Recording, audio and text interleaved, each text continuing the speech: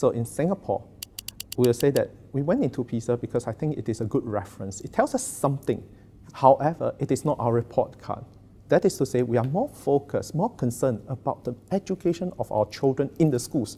It is not so much our position in the league table. So that is at least our position in Singapore.